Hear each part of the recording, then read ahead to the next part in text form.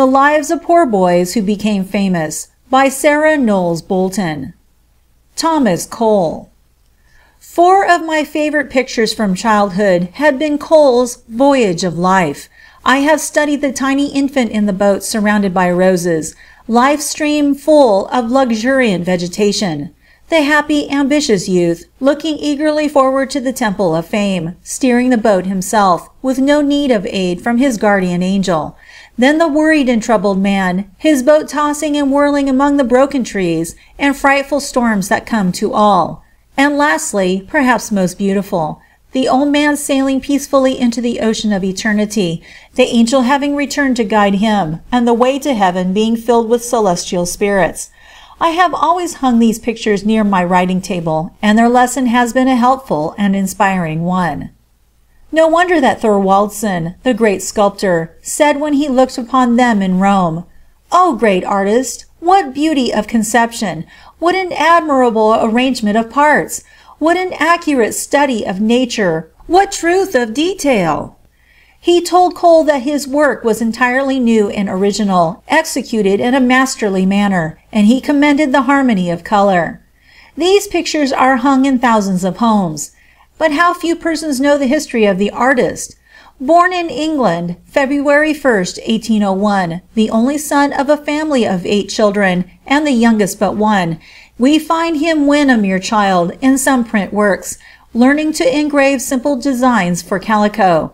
His father, a woolen manufacturer, had failed in business, and the family were thrown upon themselves for support. He was a kind and honest man, always hoping to succeed, but never succeeding, always trying new scenes to build up his fortune and never building it. Like other fathers, especially those who have been disappointed in life, he had hopes that his boy would accomplish more than himself. He wished to apprentice him to an attorney or to an iron manufacturer, but Thomas saw no pleasure in Blackstone or in handling ponderous iron. A boy of tender feelings, he found little companionship with his fellow operatives, most of whom were rough and he enjoyed most an old Scotchman who could repeat ballads, and tell of the beautiful hills and lakes of his native land. When he had leisure, he wandered with his sister Sarah into the surrounding country, and while she sang, he accompanied her with his flute. With little opportunity for school, he was a great reader, and when through with designs for calico for the day, he buried himself in books, especially about foreign countries, and in imagination clambered over high mountains and sailed over broad rivers. He talked much to the family of the wonders of the New World, and when he was eighteen they all sailed for America.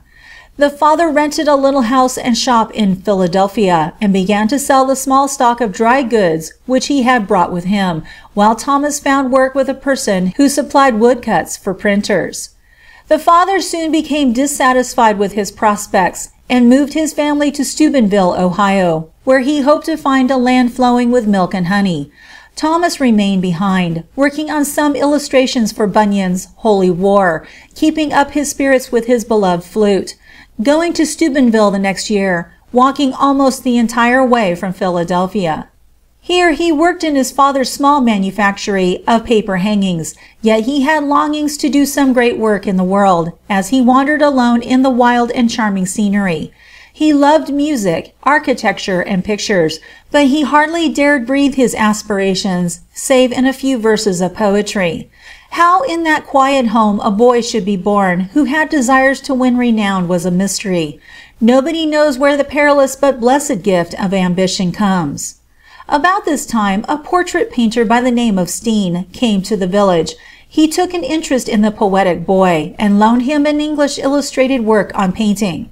Thomas had already acquired some skill in drawing. Now his heart was on fire as he read about Raphael, Claude Lorraine, and Titian, and he resolved to make painting his life work. How little he knew of the obstacles before a poor artist! He set to work to make his own brushes, obtaining his colors from a chair maker. His easel and palette were made of his own crude manufacture. His father had serious misgivings for his son, but his mother encouraged him to persevere in whatever his genius seemed to lie. As a rule, women discover genius sooner than men, and good Mary Cole had seen that there was something uncommon in her boy. his brushes ready, putting his scanty wearing apparel and his flute in a green baize bag, hung over his shoulder, the youth of twenty-one started for St. Clairsville, thirty miles distant, to begin a life as a painter. He broke through the ice in crossing a stream, and, wet to his breast, arrived at the town, only to find that a German had just been there and had painted all the portraits which were desired. However, a saddler was found who was willing to be painted, and after five days of work, from morning till night, the young artist received a new saddle as pay. A military officer gave him an old silver watch for a portrait, and a dapper tradesman a chain and key, which proved to be copper instead of gold. For some other work he received a pair of shoes and a dollar. All these, except the dollar, he was obliged to give to his landlord for board, the man being dissatisfied even with this bargain. From here Thomas walked 100 miles to Zanesville, and to his great sorrow found that the German had preceded him there also, and painted the tavern keeper and his family. The landlord intimated that a historical picture would be taken in payment for the young stranger's board. Accordingly, an impromptu studio was arranged. A few patrons came at long intervals, but it was soon evident that another field must be chosen. What, however, was young Cole's astonishment to find that the historical painting would not be received for board, and that if $35 were not paid at once, he would be thrust into jail. Two or three acquaintances became surety for the debt to the unprincipled landlord, and the pale, slender artist hastened toward Chillicothe with but a sixpence in his pocket. After walking for three days, seventy-five miles, he sat down under a tree by the roadside, well nigh discouraged, in the hot August day, but when the tears gathered in his eyes, he took out his flute, and playing a lively air, his courage returned. He had two letters of introduction in his pocket, given him at Zanesville, and these he would present, whispering to himself that he must hold up his head like Michael Angelo, as he offered them. The men who received them had little time or wish to aid the young man. A few persons sat for their portraits, and a few took lessons in drawing, but after a time he had no money to pay for washing his linen, and at last no linen even to be washed. Still enthusiastic over art, and with visions of Italy floating in his mind, yet penniless and footsore, he returned to Steubenville to tell his sorrows to his sympathetic mother. How her heart must have been moved as she looked upon her boy's pale face and great blue eyes, and felt his eager desire for a place of honor in the world, but knew, alas, that she was powerless to aid him. He took a plain room for a studio, painted some scenes for a society of amateur actors, and commenced two pictures, Ruth gleaning in the field of Boaz, and the feast of Belshazzar. One Sunday, some vicious boys broke into the studio, mixed the paints, broke the brushes, and cut the paintings in pieces. Learning that the boys were poor, Cole could not bear to prosecute them, and the matter was dropped. He soon departed to Pittsburgh, whither his parents had moved, and began to assist his father in making floor cloths. Every moment of leisure he was down by the banks of the Monongahela, carefully drawing tree, or cloud, or hilltop. Finally the longings became irresistible. He packed his little trunk. His mother threw over his shoulders the tablecloth, with her blessing and her tears, and with six dollars in his purse, he said goodbye to the family and started for Philadelphia. Then followed, as he used to say in after years, the winter of his discontent. In a poor quarter of the city, in an upper room, without a bed or fire or furniture, struggled poor Thomas Cole timid, friendless, his only food a baker's roll and a pitcher of water, his only bedding at night the tablecloth. He worked day by day, now copying in the academy, and now ornamenting bellows, brushes, or Japan ware, with figures of birds or with flowers. Sometimes he ran down a neighboring alley, whipping his hands about him to keep his blood in circulation, lest he be benumbed. He soon became the victim of inflammatory rheumatism, and was a great sufferer. He still saw before him, some way, somehow, renown. Meantime his pure, noble soul found solace in writing poetry and an occasional story for the Saturday Evening Post. After a year and a half he put his goods on a wheelbarrow. had them carried to the station, and started for New York, whither his family had moved. He was now twenty-four. Life had been one continuous struggle. Still he loved each beauty in nature, and hoped for the good time to come. In his father's garret in Greenwich Street, in a room so narrow that he could scarcely work, and so poorly lighted that he was perpetually fighting a kind of twilight, he labored for two years. Obstacles seemed but to increase his determination to persevere. Oh, such grand material our heroes made! His first five pictures were placed for exhibition in the shop of an acquaintance, and were sold at eight dollars apiece. Through the courtesy of a gentleman who purchased three of these, he was enabled to go up the Hudson and sketch from nature among the Catskills. This was indeed a great blessing. On his return, he painted a view of Fort Putnam, Lake with Dead Trees, and The Falls of the Catterskills. These were purchased for $25 apiece by three artists, Trumbull, Dunlap, and Durand. Trumbull first discovered the merits of the pictures, buying the falls for his studio, and invited Cole to meet Durand at his rooms. At the hour appointed, the sensitive artist made his appearance, so timid that at first he could only reply to their cordial questioning by monosyllables. Colonel Trumbull said, You surprise me at your age to paint like this. You have already done what I, with all my years and experience, am yet unable to do.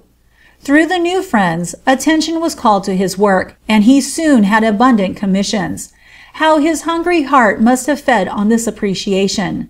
From that time, says his friend William Cullen Bryant, he had a fixed reputation, and was numbered among the men of whom our country had reason to be proud. I well remember what an enthusiasm was awakened by these early works of his. The delight which was expressed at the opportunity of contemplating pictures which carried the eye over scenes of wild grandeur peculiar to our country, over our arid mountain tops with their mighty growth of forest never touched by the axe, along the banks of streams never deformed by culture, and into the depth of skies, bright with the hues of our own climate, such skies as few but Cole could ever paint, and through the transparent abysses of which it seemed that you might send an arrow out of sight. The struggles were not all over, but the renown of which the calico designer had dreamed had actually come. Down in the heart of Mary Cole there must have been deep thanksgiving that she had urged him on. He, with a few others, now founded the National Academy of Design. He took lodgings in the Catskills in the summer of 1826 and worked diligently. He studied nature like a lover. Now he sketched a peculiar sunset, now a wild storm, now an exquisite waterfall. Why do not the younger landscape painters walk, walk alone and endlessly, he used to say. How I have walked, day after day, and all alone, to see if there was not something among the old things which was new. He knew every chasm, every velvety bank, every dainty flower growing in some tanglewood for miles around. American scenery, with its untamed wilderness, lake and mountain, was his chief passion. He found no pleasure, however, in hunting or fishing, for his kind heart could not bear to inflict the slightest injury. The following spring he exhibited at the National Academy The Garden of Eden and the Expulsion, rich in poetic conception, and in the fall sketched in the White Mountains, especially near North Conway, which the lamented Starr King loved so well. In the winter he was very happy, finishing his Chocorua Peak. A visitor said, Your clouds, sir, appear to move. That, replied the artist, is precisely the effect I desire. He was now eager to visit Europe to study art, but first he must see Niagara, of which he made several sketches.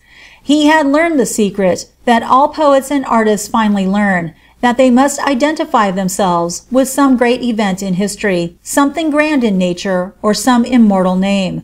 Milton chose a sublime subject, Homer a great war, just as some one will make our Civil War a famous epic two centuries hence.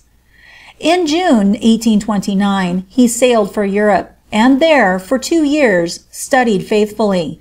In London he saw much of Turner, of whom he said, I consider him as one of the greatest landscape painters that ever lived, and his Temple of Jupiter as fine as anything the world has produced. In landscapes, my favorites are Claude Lorraine and Gaspar Poussin.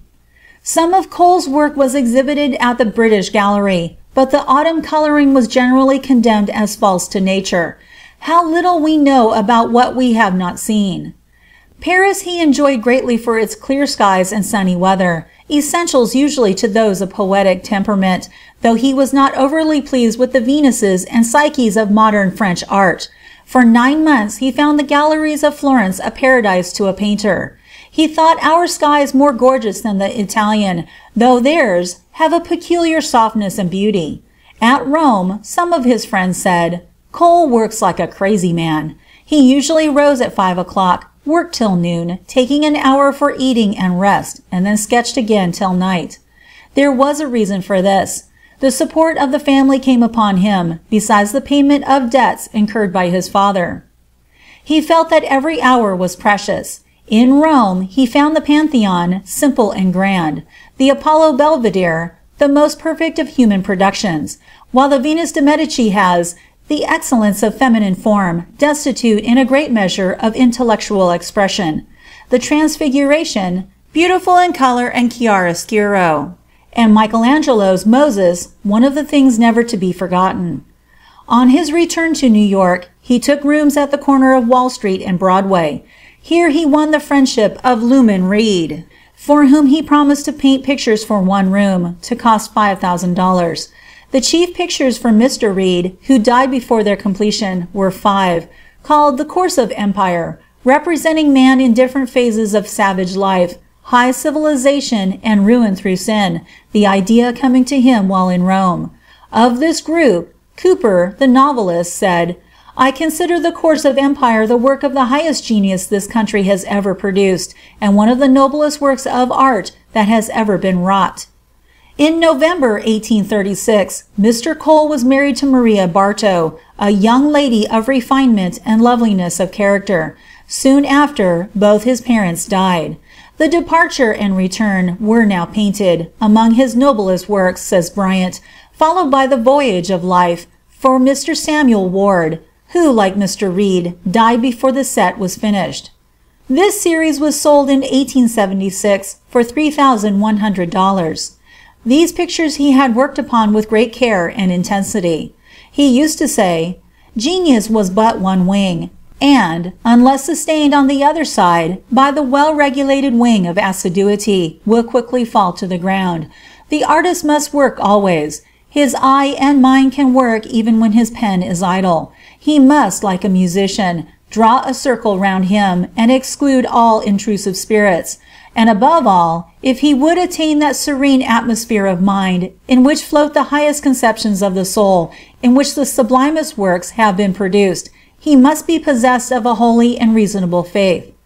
The voyage of life was well received. The engraver, Mr. Smillie, found one morning before the second of the series, Youth, a person in middle life looking as though in deep thought.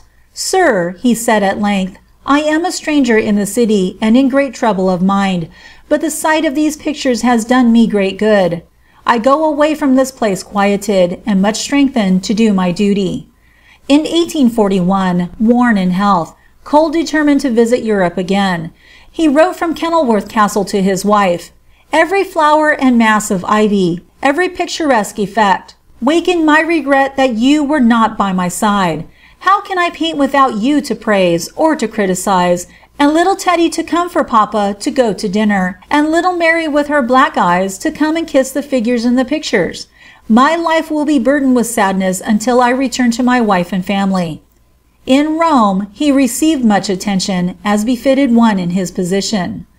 On his return, he painted several European scenes, the Roman Campagna, Angels Ministering to Christ in the Wilderness, Mountain Ford, sold in 1876 for $900, The Good Shepherd, Hunter's Return, Mill at Sunset, and many others.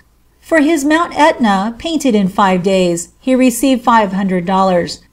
How different these days from that pitiful winter in Philadelphia!